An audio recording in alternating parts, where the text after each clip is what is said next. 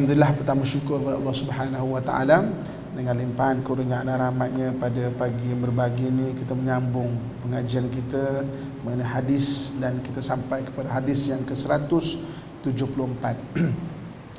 Bismillahirrahmanirrahim. An Abi Hurairah radhiyallahu anhu qala qala Rasulullah sallallahu alaihi wasallam istawsu bin nisa'in fa innal mar'ata khuliqat min dil'in wa inna a'waja shay'in fi ad-dil'il a'laha. In dhahabta tuqimuhu kasartaha. Wa in taraktahu lam yazal a'waj. Istawsu bin nisa. Abu Hurairah radhiyallahu anhu berkata bahawa Rasulullah sallallahu alaihi wasallam bersabda nasihatilah isteri-isteri kalian dengan cara yang baik. Sebab sesungguhnya para wanita diciptakan dari tulang rusuk yang bengkok tulang rusuk yang paling bengkok adalah yang bahagian atas ya, yang paling yang di paling atas. Maka dari itu jika kalian ini para suami keras dalam meluruskan iaitu membimbingnya maka kalian akan mematahkannya. Dan jika kalian membiarkannya yakni tidak membimbingnya maka ia akan tetap bengkok. Oleh itu nasihatkanlah isteri-isteri para wanita dengan cara yang baik. Okay, biba kakak tuan-tuan muslimin dan muslimat rahmatullah sekalian. Okey. Ada beberapa bahagian dalam hadis ini ya. Yang pertama sekali uh, dalam al-Quran Allah Subhanahu Wa Taala sebut bahawa kita ni bangsa manusia diciptakan sebaik-baik kejadian. Laqad khalaqnal insana fi ahsani taqwim. Sebaik-baik kejadian. Kan? Kita manusia ni nature naturalnya naturenya dicipta sebaik-baik kejadian. Sebab unsur kita ni unik kita manusia ada lima unsur eh? Ada lima unsur. Kita ada roh kita ada akal kita ada hati kita ada nafsu dan kita ada jasad. Kan? Sekali lagi ya kita ada roh kita ada uh, apa uh, akal kita ada hati kita ada nafsu dan kita ada jasad Lima benda ni Allah ciptakan stabil bagi diri manusia. Sebab tu manusia ni Allah sebut laqad khalaqnal insana fi ahsani taqwim. Dalam kelas-kelas yang lepas kita ada bicara mengenai detail kelima-lima unsur ini. Tapi Allah sebut thumma radadnahu asfala safilin. Kemudian dia di boleh ditarik ke serendah-rendah kejadian. Okey? Serendah-rendah kejadian. So, kita ni nature kita adalah sebaik-baik kejadian. Kemudian dia ni boleh ditarik ke serendah-rendah kejadian. Jika tidak beriman dan beramal soleh. Ha? ha, kan? Tidak beriman dan tak beramal soleh. Iman ni apa? Belief system. Kalau tak ada satu belief system yang betul iman ni belief system. Kita orang beriman kita orang yang percaya kepada Allah dan Rasul ada belief system. Percaya kepada Allah dan juga Rasul. So belief system kena betul. Okay? beriman. Dan juga beramal soleh. Maksudnya apa kena buat benda-benda positif? Ha, kita biasa dengar amal soleh amal soleh ni sampai benda tu jadi satu perkataan yang tak masuk ke hati. Kan? benda soleh ni benda positif. Apa-apa yang kita buat benda-benda positif. Okey, untuk itu manusia ni selalu perlu diingatkan. Selalu di, perlu diingatkan kalau tidak dilupa. Kan ha, jadi dalam hadis ini pertama Nabi berpesan kepada para suami supaya selalu berpesan-pesan kan ke arah pada isteri dia. Ini dalam konteks rumah tangga lah. Tapi nak ceritanya umumnya disuruh kita ni berpesan-pesan. Itu dalam surah Al-Asr. Wa tawasaw bil wa tawasaw bis sabr kan pesan-pesan ke arah kebenaran berpesan-pesan ke arah kesabaran. Disuruh kita ni selalu selalu diperingat-ingat-ingat-ingatkan. Okey? Sampailah ingatan itu dia jadi bahasa dalaman kita. Okey. Sampai benda tu jadi monolog dalaman kita eh. Hari ni bibu kakak saya sekalian eh. Kita dengar kuliah hari-hari dekat SRS2 dekat mana-mana kan mana kita nak tahu kuliah kita ni memberi kesan yang positif pada diri kita? Mana kita nak tahu? Mana ukuran dia? Kalau universiti dia ada ukuran sijil. Kan kita baca tahun-tahun ni maksudnya maksudnya apa ukuran kita? Kitab ada catatan tepi, okey boleh jadi ukuran juga. Apa lagi? uh, tindakan kita buku catatan kita kan itu belum masuk buku catatan campur-campur kan buku catatan hari ni kuliah hadis kan. Belakang ni pula hari ni beras 5 kilo kan? Bawang habis tu kan? 2 kilo. Maksudnya Bahasa ni resipi pula. Resipi kek lapis Sarawak okay? Belum, belum campur-campur lagi. Apa ukuran dia? Ukuran dia adalah sejauh mana apa yang kita belajar menjadi bahasa dalaman. Itu ukuran dia. Eh?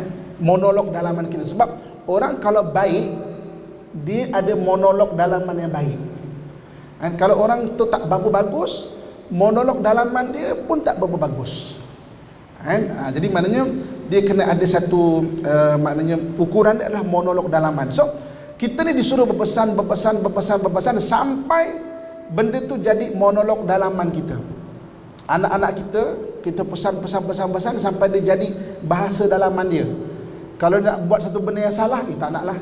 Nanti kesian kat mak kan? Dia boleh stop. Tapi kalau bahasa dalaman tak ada dia takkan boleh stop diri dia. Kan? Jadi sama juga kita. Hari ini kita kena saling berpesan, berpesan, berpesan sampai benda tu jadi monolog dalaman kita. Dia boleh stop kita eh, daripada buat benda tak bagus ataupun merangsang kita untuk terus istiqamah pada benda-benda yang kita buat. Ha, itu perlukan monolog dalaman, perlu bahasa dalaman. Jadi dalam hadis ini disebut istausu bin nisa'i khairan.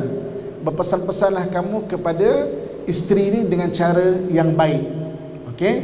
Jadi kemudian Nabi menceritakan dulu asal asal mula-mula diciptakan kan kita ni semua daripada tanah tapi tapi perempuan ni dicipta daripada tulang rusuk lelaki dan nabi sebutkan bahawa tulang rusuk tu bengkok kalau kamu nasihat dengan cara kasar dia akan patah tapi kalau biarkan dia cara beng, maknanya dia akan tetap bengkok lah.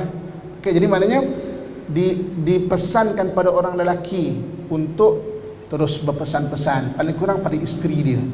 Pesan-pesan. Dan abang-abang ayah-ayah saya sekalian ya.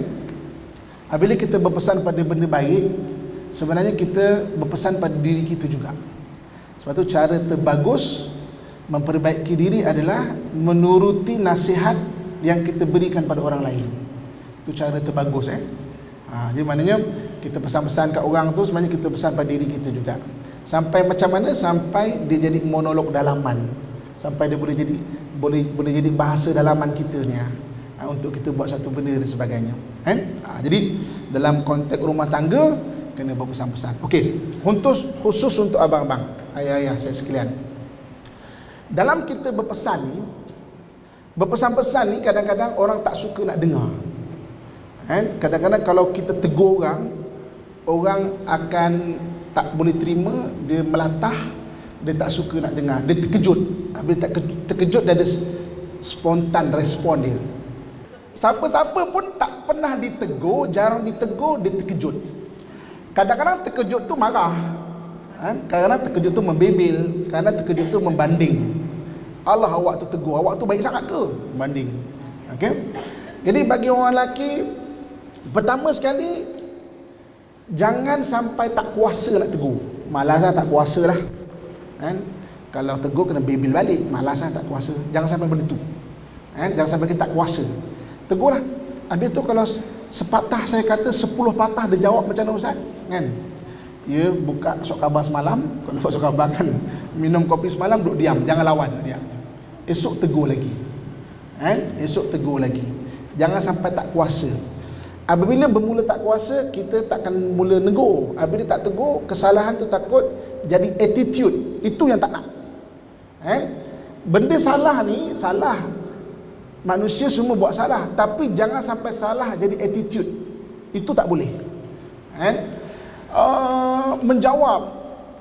Sebagai manusia kita nak menjawab kadang-kadang. Tapi jangan menjawab jadi attitude. Macam anak kita kan.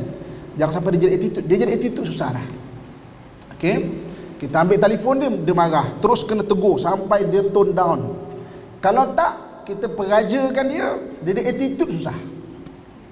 Okey. Gaduh, lari rumah. Tak, tak salah lah kan?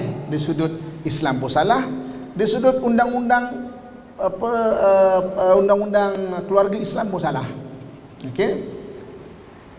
Tapi sebagai manusia, okey lah. Bukan saya cakap okey tau, maknanya okey lah eh. Dan ada two types okey kat Malaysia ni, okey dengan okey lah eh. Maksudnya okey lah eh, bukan okey eh. Sekali-sekala. Tapi jangan sampai lari rumah jadi tabiat. Gaduh je lagi, gaduh je lagi. Lagi je gaduh. Jangan sampai jadi macam tu. Ha, dari tabiat susah. Jadi tegur tu jangan sampai dia jadi tabiat. Maksudnya salah tu jadi tabiat. Itu sebab tu kena tegur. Sebab tu hari ni kita tegur bukan kerana nak ubah dia, tapi kita, Allah suruh tegur dan biar jangan jadi tabiat. Benda tu jangan jadi tabiat. Anak kita ke apa ke biar dia tahu. Walaupun dia tak tak terima ke ada spontan ke tapi dia tahu okey ada border ni. Bapa tak suka mak tak suka suami tak suka. At least dia buat dengan rasa macam eh okey ada orang tak suka ni. Ha, jangan jadi tabiat. Itu kena tegur. Okey jadi jangan sampai pertama tak kuasa kan sebab apa apabila sampai tak kuasa kita menegur orang yang depan kita buat salah itu dia jadi tabiat nanti kita kita jadi satu stage lagi kita takut nak tegur. Mula tak kuasa tapi jadi takut pula. Ha, kau tegur nanti jadi bergaduh. Dia takut nak, nak tegur tu takut. Ha, jangan sampai jadi macam tu. Kan? Ha, sebab itu tegur dengan baik kata Allah kata Nabi SAW eh, isteri. Habis itu Ustaz, suami saya macam-macam buat hal, kakak-kakak, ibu-ibu tegur juga kan? Ha, sama juga ini bukan bukan untuk suami saja. Suami pun tegur juga. Tapi sama juga dengan cara yang baik kan? Ha, kalau tak terkejut macam orang berjenazah tadi tu kan? Ha, dia terkejut. Kan? Tegur dengan cara yang baik